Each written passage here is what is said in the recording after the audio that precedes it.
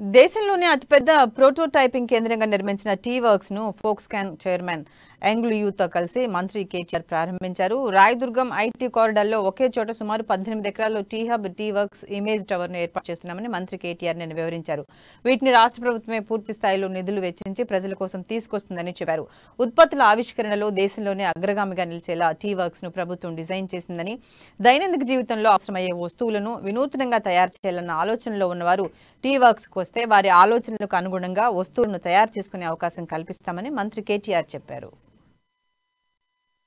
With India being a powerhouse of software and with Taiwan doing wonders in hardware, if we can synergize, we can literally synthesize something truly beautiful for the globe. We can come out with some world-class products. That's exactly why I wanted you to launch this prototyping facility so that we can give an impetus, we can give a call, a clarion call to the youngsters out there that even India can come out with product innovation. Even young Indians can come out with world-class products. What you see here today, what you see here today is just the tip of the iceberg. What I wanted you to see and what I wanted you to guide us with is what this could be. How India really could aspire to actually lead the world, help